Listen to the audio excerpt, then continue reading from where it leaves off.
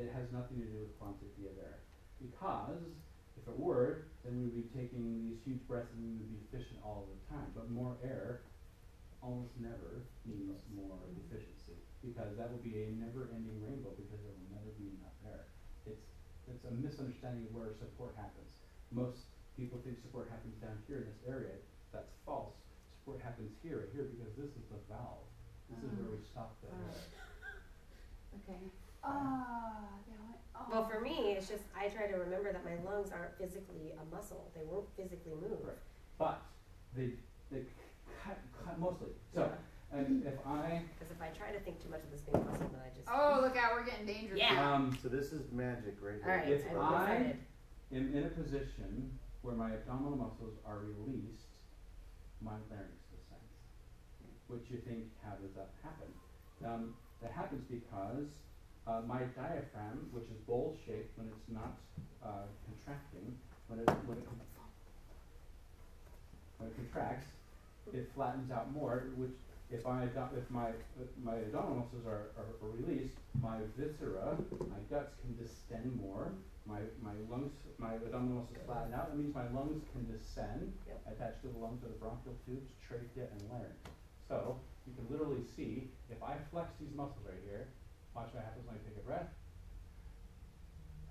If I release my abdominal muscles, Yep.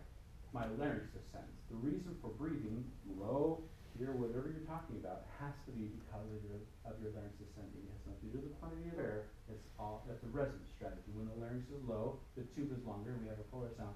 All of me, all of me, low, lower sound. Here, here's where we get into trouble, though. Is the way we hold our body. Um, if I'm behind myself, here, right? Mhm. Then what is your? Go ahead and lean on your heel. Oh. I, when I do ski, I'm like this way skier. Feel, so, uh, okay. well, depends on how you ski. I Yeah. fall down. I fall down. So. yeah, uh, that because you ski like that. If you're on your heels like this, notice that your abdominal muscles Yeah. are behaving They're- structural. they're like they have to. So in this like doing a position, try to take a, a low breath. Yeah, You can't.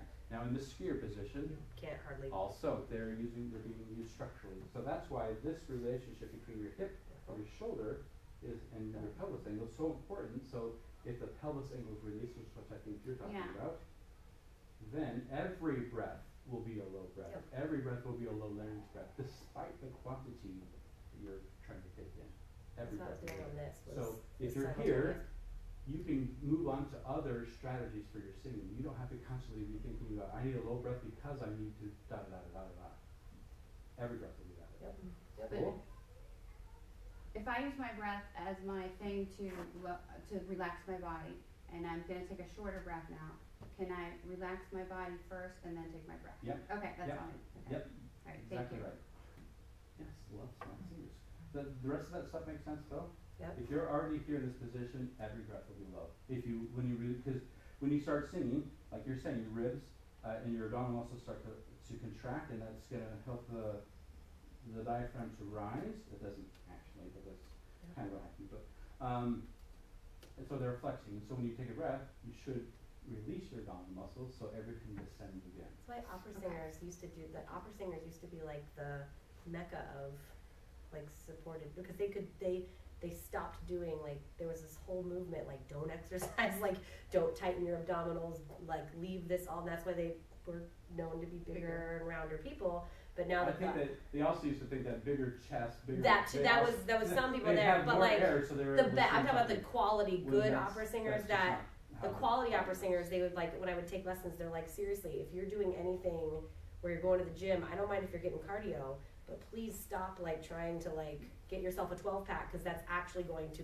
like The thoughts do of the keeping, opposite you know, yeah is it up and in, or is it down and out, or is it around, all that stuff? All we're looking for is Just a relaxation, relaxed. because which is it's great a resonance I love that. strategy. yeah So what's the difference between being throaty, like if you're throaty, not That if has you to- hear that term, I think that more has to do with how the muscles in the in the in the above the larynx are being contracted. Like if you take what people call a an open throated breath, if Yeah. you go mm-hmm.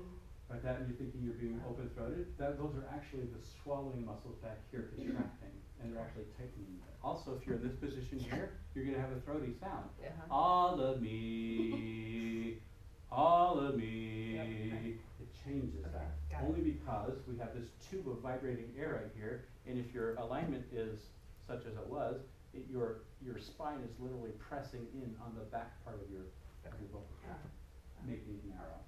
You get to sing now, Oh, myself? by yourself. Oh god. Now, as we approach twelve, Yeah. do you, we can, the end time of this is whatever we wish.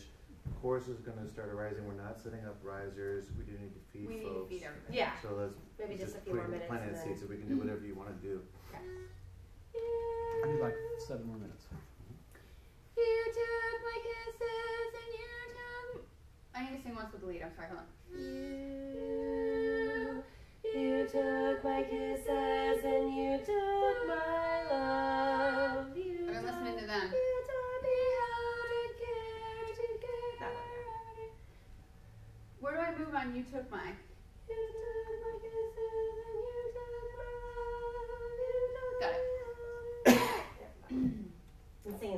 Way too long. I know. I'm singing Annie's part. You took my kisses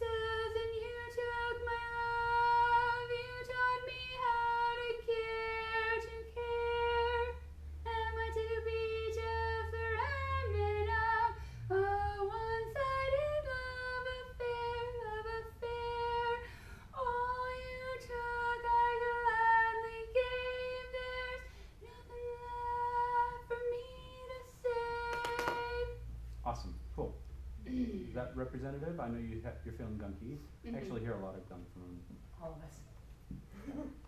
um, good though? All of us. Sherpa, does that feel good? Goodish. Go. How open are you to a couple ideas? Sure. Bring do you like know her or something? This is so awesome. You read her You so well. shut. He's reading you so well. I love it. Yeah, why don't you go ahead and teach me stuff? Teach me stuff. this Taurus. I've, I've actually never been taught a lot. I don't get a lot of attention in my quartets. No, she Oh. does. Um, So I don't. I just do what I do.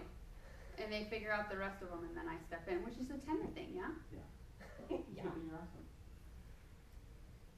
You try? Mhm. One, two, to start?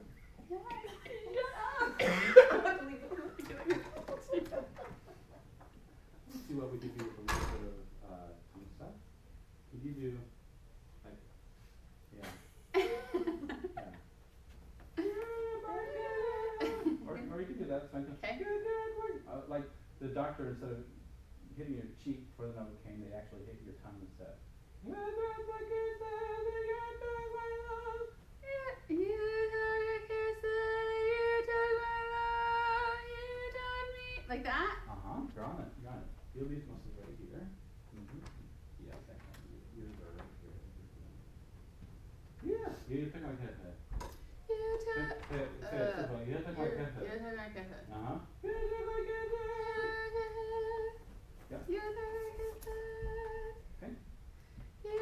Like actually sing or do like go I want you to feel. Yeah. I want, these muscles should not be engaged. They're Okay. swallowing muscles. I, I have a suspicion that they're sinking. You took my kisses and you took my love.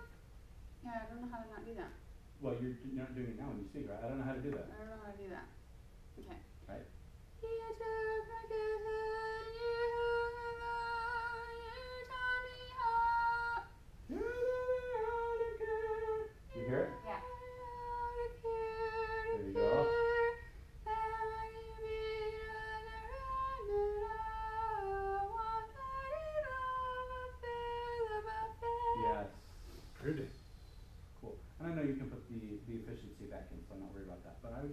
That's just a little thing. It's not, it's not killing your sound or anything, but that's a level of relaxation I think that you'll That's cool. enjoy more. All right, quartet. A quartet assemble. Simple. It's like And transforming. if you happen to bring your head back out a little bit, that'd be all right. All right, so I've given you each one or two things to kind of focus on, and the last time y'all rocked on it, so I'm expecting just amazing now.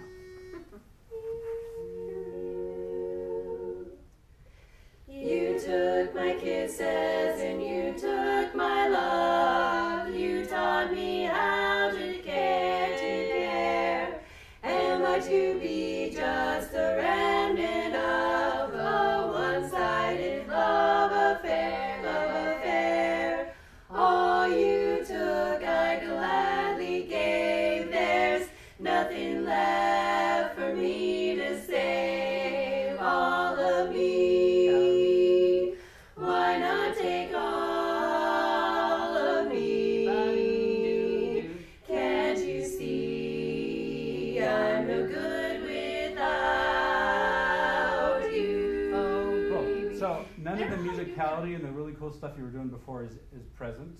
So we just, I murdered that. But the ensemble sound is like okay. macho.